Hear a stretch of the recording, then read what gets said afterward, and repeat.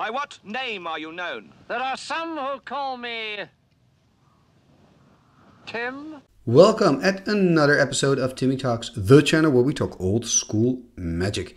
And today I am playing with Timmy's Blue, so that's a mono blue deck with four Prodigal Sorcerers. And I'm playing against a mono red deck against Ali from the capital of Egypt. So I guess that refers to uh, Ali from Cairo. Uh, Cairo, Cairo, how, how do I pronounce that? Anyway, it refers to the Arabian Nights card. Uh, it's, a red creature, and when it comes to the board, if we see it this turn, I'll elaborate on what it does if you're not familiar with the card.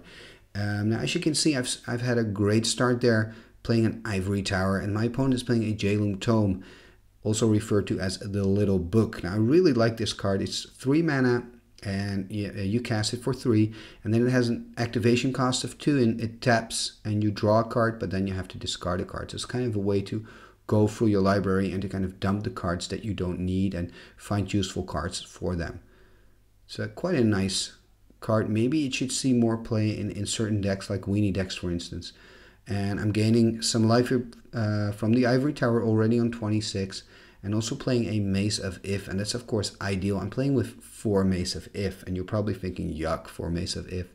I'm doing this because I hardly play with any creatures and um, I want to counter other spells. Spells that form more of a, a threat than just creatures. So creatures I hope to stop with my Maze of Iths and and in this case, I had a Maze of Ith in my hand, so I counter the Dragon Whelp. And I'm playing a second Ivory Tower here, gaining even more life. And my opponent here is playing a Desert. Very nice card. Desert says uh, tap 1 and it deals 1 damage to a creature of the opponent, an attacking creature. So actually it could also be your own creature, I guess. So an attacking creature that has dealt damage to you or to a creature you control. Um, it can also give you a colorless mana, so you can still use it. And it's interesting to see here what my opponent is doing. His graveyard is now filled with two disharmonies, and disharmony is a card from Legends, and it's it's quite a cool card. You don't see it often. You play it when your opponent is attacking, and then you can just take one of his creatures and use that as a blocker. So if you play it the right way, you can just kind of kill two birds with one stone. So you can kill uh, two creatures from your opponent. Oh, and oh, almost missing here uh, the Shivan Dragon. My opponent Ali is trying to cast a Shivan, and I'm playing a counter spell. And as you can see, I've already replaced my life counters there with um, with some beads. And uh, beads stand for 10 life each. So in this case, I'm on 38 life. So it's going a little crazy here. And I'm just going to adapt the life counter down below to 20 plus or 30 plus or 40 plus. That just makes it easier. And there is Ali from Cairo. So that's uh, the Ali is playing the Ali. And Ali says, while Ali is in play, damage that would uh, reduce you to less than one life lowers you to one life instead. And all further damage is prevented. In other words, as long as Ali from Cairo is on the board, it cannot you cannot die. So very curious to see um, what his tactic is here. Oh, and this is interesting. He's playing a Safe Haven. Now, Safe Haven is a card from the dark. It's a land. It's again, I feel it's one of those cards that just isn't good enough, but I guess it has potential. Uh, what it does, you can tap it and then you can put a creature in the safe haven. So for instance, if I would target Ali from Cairo, he can say, uh-oh, I'm going to tap my safe haven. Ali from Cairo goes into the safe haven. And then he can, I believe, sacrifice his safe haven. And the creatures that are in the safe haven are coming back into play. Important here uh, to, to elaborate about the safe haven is that you need to sacrifice, you can only sacrifice during the upkeep. So that obviously that makes safe haven very vulnerable. And what we see now here, let's get back to the game, is a strip mine activation, taking away my Maze of Ith. And all of a sudden, I am very vulnerable and there's five full damage coming in from the Dragon Whelp. So one of the things that I'm going to do now is trying to use my Sindbad to dig for answers, in this case finding another of Ith. And that's a nice thing about Sindbad. So I'm finding a Library of Alexandria, not too shabby. I mean, could be worse.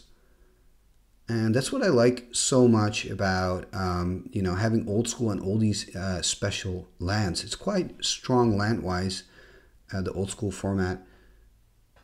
And it means that my Sindbad is very valuable because you can just find all these spells. But for now, I haven't uh, found a Maze of Ith yet.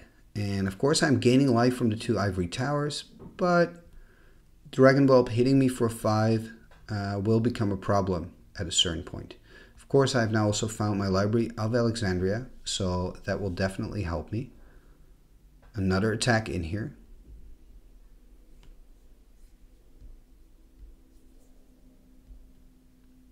And I'm going down here to 48.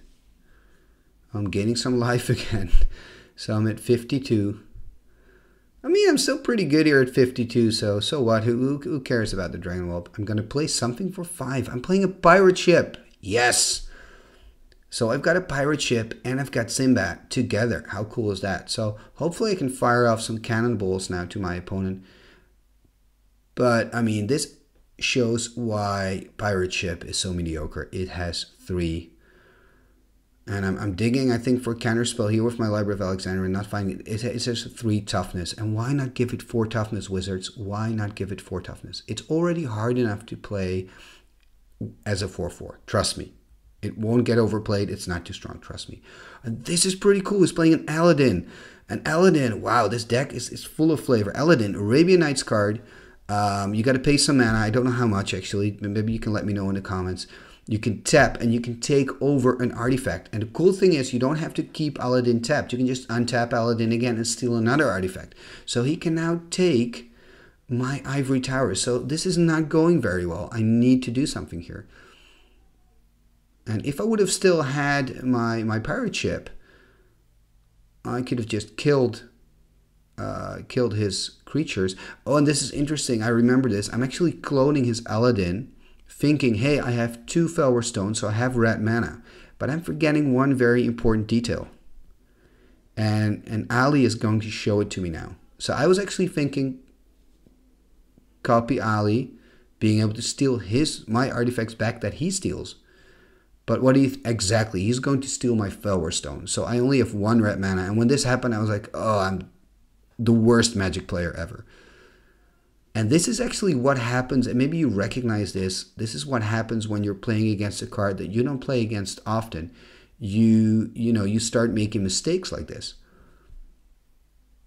because you don't know the card well enough. But luckily for me, I'm drawing a Prodigal Sorcerer. So let's hope this Prodigal Sorcerer stays on the battlefield at least one whole turn.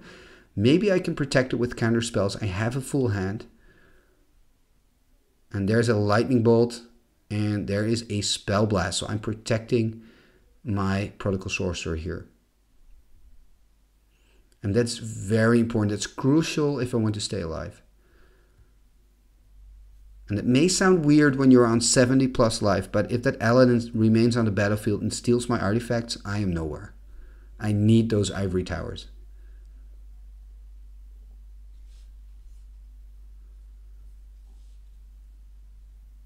And let's see what he is going to do next. And he has that book still, and he's playing a Chain Lightning, and that book really helps him to find the answers.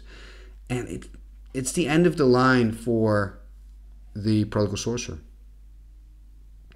And he's now stealing another Ivory Tower.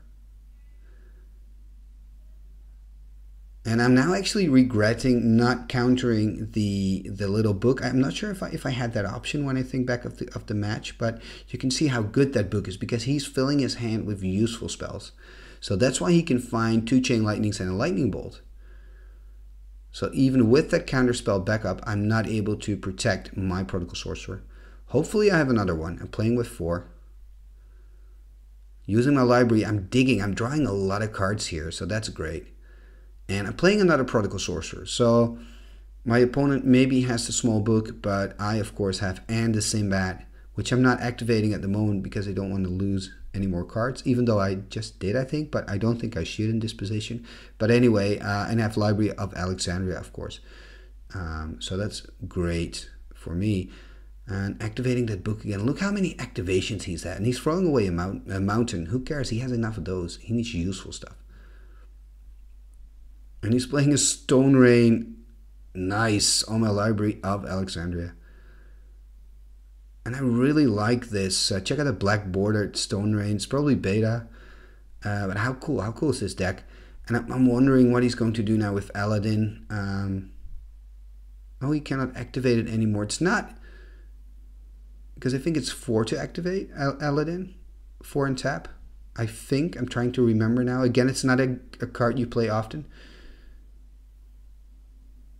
And he's playing a fireball of one. Ooh, but I have a power sink, so good news for me. So I wonder if he still has a lightning bolt. Uh oh. No, he's not. Oh, he's tapping the mana because of the power sink. Okay, so he's tapped out except for the safe haven. But safe haven cannot give any land, uh, any mana, by the way. So it's a land, but it doesn't produce any mana. Uh, so it's my turn again.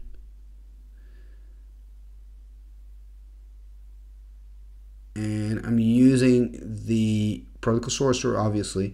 And this is interesting. Now you see the Safe Haven in action. So he's using the Safe Haven to protect his Aladdin. But his Aladdin is out of the game for now. So that means I'm getting uh, the artifacts back. So that feels really good to having my own artifacts back. So, uh, and I'm playing a clone, I believe, over the uh, Prodigal Sorcerer. So this is starting to become like really complicated. And I am on 69 life. My opponent is st- still on 20.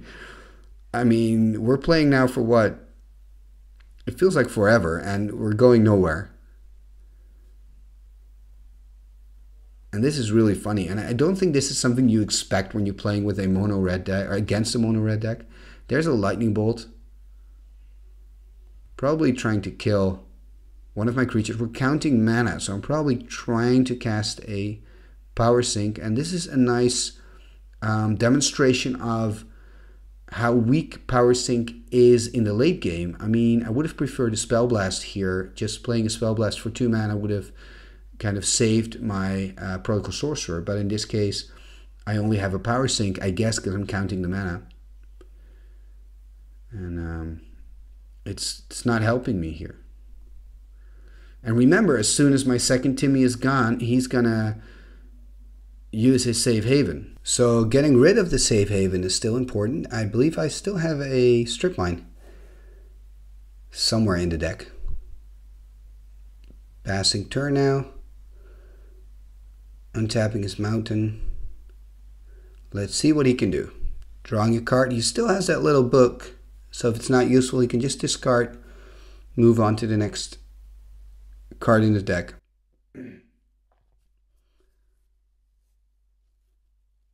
And he seems to be taking his time here, thinking what to do.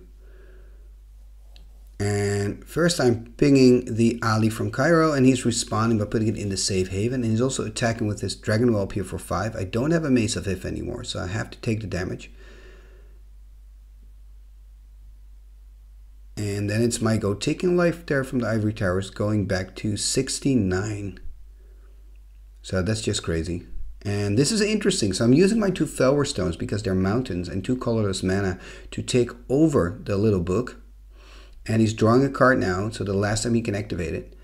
And I have the book there. And now I'm making a huge, well, huge mistake. I'm making a small mistake here. I'm attacking with the Sindbad forgetting about his deserts. So after I've dealt him one whole measly point of damage, he's now down to 19, ladies and gentlemen. I lose my Sindbad, a very valuable creature. So um, definitely a misplay, especially since you um, can imagine I can use the Sindbad to look for a strip mine that can help me get rid of that horrible safe haven. And of course I can use it to look for Maze of Iths because even though I'm not getting a lot of damage from the Dragon Whelp because I'm gaining life from the tower, it's still damage. And what if he can get a second creature? Maybe he plays with another Shivan Dragon. And then, uh, then the threat is, is far more serious. I have the little book now, so I can go through my cards now as well, although it's still tapped because Ali activated it when I took it over and I'm playing a control magic. So I'm now basically just stealing everything from him, and again he's putting it in his safe haven. So you can see how good this this this card actually works. So he has everything in his safe haven. So that that safe haven is getting kind of crowded. They're having a party over there. Um, of course, I realized that when I played the Control Magic, I actually don't mind because now it's from the battlefield and I'm not taking any damage anymore. So in a way, it's just a removal spell. And I know that he's not going to use his safe haven as long as I have the uh, the Timmy on the battlefield because he doesn't want to lose his uh, Aladdin or Ali from Cairo. So a very interesting board state here. And it's interesting, another land from the dark there that he just played. I believe that's the City of Shadows. And with the City of Shadows, you can also sacrifice a creature. Um, or also, but you can sacrifice a creature and then um, you gain a mana counter on the City of Shadows. And there he plays a Granite Gargoyle, the 2 2 flyer for 3. And for 1 red mana, you can give it plus 0, plus 1. And there you go, activating the book now for the first time. And I'm actually putting away a Maze of Ith there discarding a Maze of Ith. Interesting choice. I guess I have so much life, I don't really fear the Granite Gargoyle. And tapping two more mana. And, oh, playing a Brain Geyser. Okay. I guess I'm playing it for three. Maybe afraid that I'll have to discard. There's the Sindbad again. So it looks like I have complete control of this matchup. and he's on 16. So all I have to do now is just just kill him, but that can go very slow, and also because he has those deserts. So I cannot attack with Aladdin, I cannot attack with Sindbad. And I believe he's asking now how many counter spells do you have in your graveyard? What if you played out? Kind of to have an idea. So I guess he wants to play a spell here. I haven't played out that many counter spells actually. You would imagine so far. Okay, and there it is. He plays a fireball, trying to get rid of the Tim. And then, like I said before, he wants to get rid of the Tim first um, before he can, um, before he's gonna sack his safe haven and get his creatures back. And there it is. We talked about it earlier. This Shivan dragon. So it's his second Shivan, and I think this one resolves. Very nice play here because he's kind of forcing me to counter that fireball and kind of thinking, okay, if I have a chance, then I have a chance now. So he probably doesn't have a second counter spell, or at least chances are slim. And oh, that's that's just too bad. Okay, I kind of I I'm not like I understand what I'm doing here, and this is what you do when you play with four Maze of Iths. But I can understand if you now go like, oh yuck, because I mean this beautiful un- unlimited Shivan dragon is on the battlefield, and it just wants to attack. So sending back the Shivan, taking two damage here from the uh, gargoyle, but it's not really gonna gonna hurt me Still gaining life from the towers, and I mean, look at my life count. It's insane. Pinging him at the end of each turn now, this kind of the tactic. Hopefully drawing some more clones to, uh, to copy to Timmy.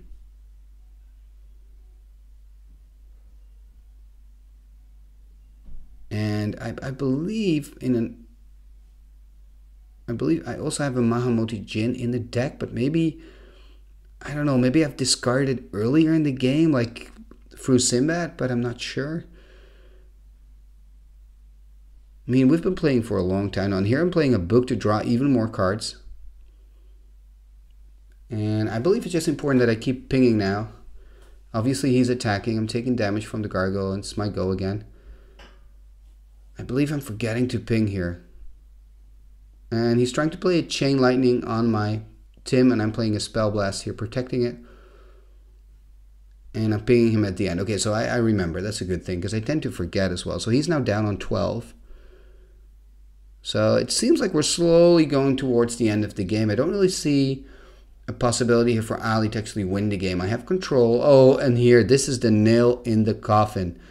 I'm playing the strip mine, taking care of his safe haven. So that means he loses all his creatures. And now you can see why safe haven is not a card that you see often. Oh, and to make matters worse, I am playing a control magic over the Shivan, but he can use the City of Shadows here to sack the Shivan Dragon. So what I really like about this deck um, that Ali has is he has all these mechanics um, that just don't allow me to control his creatures. And of course he plays that because um, he's playing with that uh, legend card that we saw earlier. I kind of forgot the name here, but the ones that he discarded early on in the game. So playing a second Prodigal Sorcerer here, so that means the game is going to go really, really fast. And he's asking me to count my cards, and I believe I have like nine cards in uh, in my library. It's not a lot. Oh no, no, no! This is Diamond Valley, and um, I'm just going to pause the game here for a moment to explain to you what Diamond Valley is and what it does because this is quite crucial for the game. Now, Diamond Valley is a land from the Arabian Nights and it says tap to sacrifice one of your creatures in exchange for a number of life points equal to its toughness. Note that this ability may be used after blocking has been declared. So you can use this effect as an instant speed, but more importantly, it says uh, tap to sacrifice one of your creatures in exchange for a number of life points, and here it comes, equal to its toughness. So this means it could buy him the time he needs um, to kind of see me run out of cards. So let's get back to the game quickly and, and see what he does with this Diamond Valley. And we are back in the game. And I'm doing a damage here with my Timmy. Maybe he doesn't see it. Maybe he's not going to use it. Fingers crossed. I mean, my deck looks very, very slim. I mean, life totals are not really important from my side. And dealing two more damage. So he's going down to eight life, actually. And I believe he's doing it now. So he's tapping all his red mana and he's going to count. And he's sacrificing his Granite Gargoyle, gaining 10 life. And he's back up to 18 life. So this is extremely frustrating.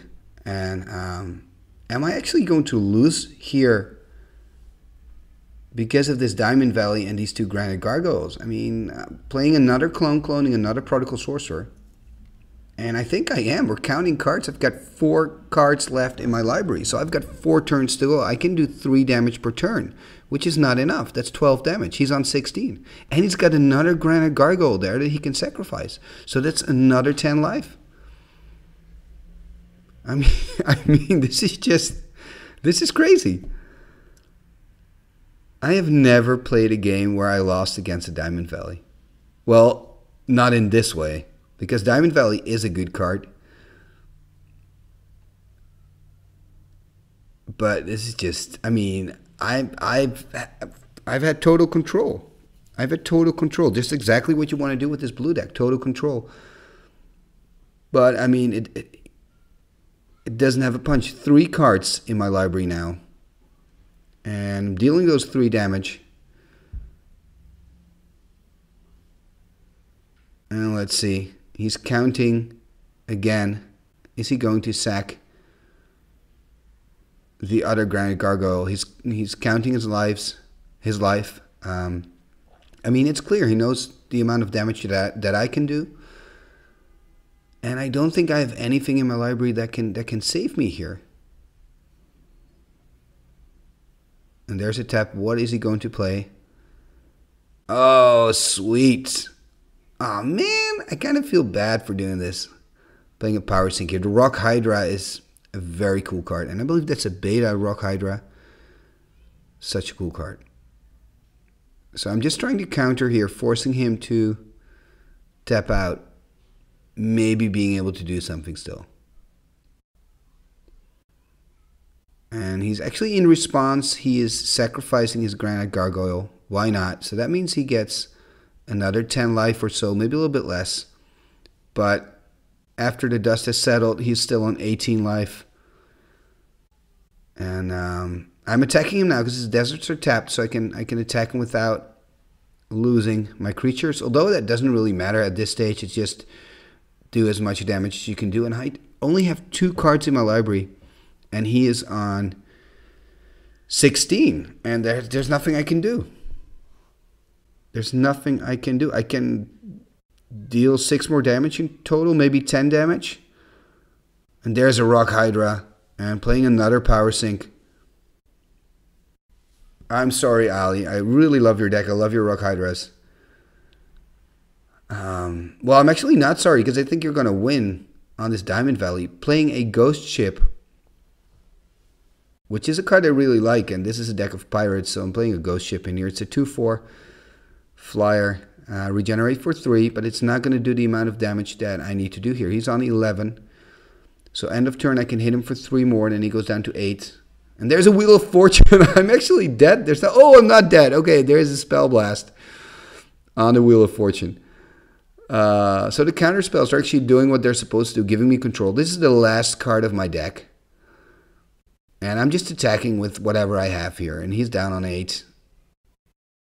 And, oh, this is nice countering countering another spell here. So I'm just, my hand is full of counter spells. Uh, killing my two creatures there with the deserts. And he's on 4 life. And he's on 4 life! So he's going to survive. He's on four life. So he only needed one extra turn. If it would have skipped one draw step, skipped one card, I would have won this game.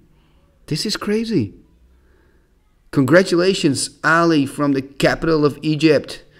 Uh, you have won this game, and I have lost this game in in a fantastic way. So I mean, it's not bad to lose in this fashion.